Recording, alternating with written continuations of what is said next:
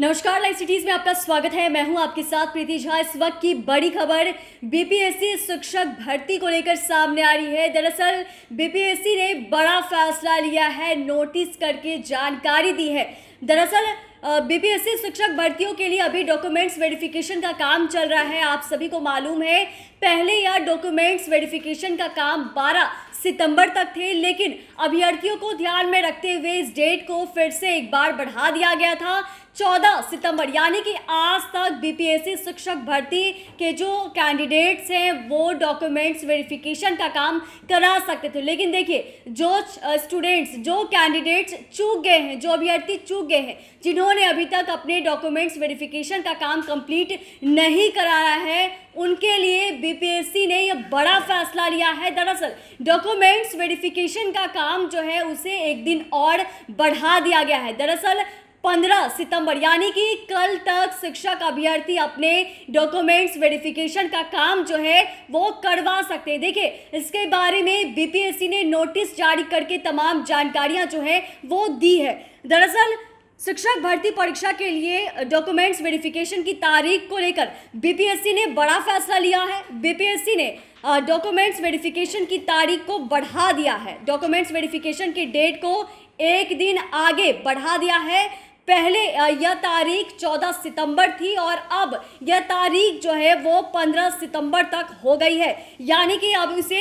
एक दिन और बढ़ा दिया है। आप देख सकते हैं स्क्रीन पर भी कि किस तरीके से बीपीएससी के ऑफिशियल वेबसाइट bpsc.bis.nic.in पर ये नोटिस जो है वो जारी किया गया है और ये अहम जानकारी दी गई है कि अब तक जिन छात्रों ने अपना डॉक्यूमेंट्स वेरिफिकेशन का काम नहीं करवाया है या किसी कारणवश वो चूक गए हैं, वो अब करवा सकते हैं, उन्हें एक दिन का और मौका जो है, वो मिलेगा। वहीं ये तमाम नोटिस में आप देख सकते हैं कि किस तरीके से कई सारी चीज़ें जो हैं, वो लिखी हुई है और इसमें यह भी लिखा है कि 4 सितंबर से 14 तक समय निर्धारित था और जिन अभ्यर्थियों का दस्तावेज़ सत्यापन, उक्त तिथियों के बीच में, यानी कि इस बीच में किसी कारण से नहीं हो पाया है या उन्होंने नहीं कराया है तो वैसे अभ्यर्थी अपने ऑनलाइन आवेदन में पहले से भरे गए स्थायी पता के अनुसार जो जिला उनका है उसके द्वारा पंद्रह सितंबर तक खुद आप आ सकते हैं और अपने जो भी डॉक्यूमेंट्स है उसका वेरिफिकेशन करा सकते हैं।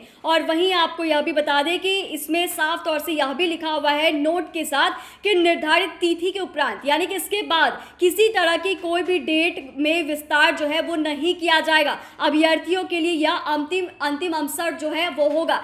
तो ऐसे आयोग की तरफ़ से कह दिया गया है कि ये जो अभी, यानी कि 15 सितंबर तक की जो तारीख रखी गई है, अब तक आप आइए, अपने डॉक्यूमेंट्स वेरिफिकेशन काम जो है वो करवाइए और फिर इस चीज़ को आप कंफर्म कीजिए। अभी तक आयोग ने यह भी कह दिया कि इसके आगे कोई डेट जो है उसे नहीं बढ़ाया जाएगा। देखिए, पूरे तरीके से यह अहम जानकारी आयोग ने दी है और नोटिस जारी करके ये जानकारी दी है। चैनल को सब्सक्राइब करें फेसबुक पेज को लाइक करें। वीडियो देखने के लिए आपका धन्यवाद।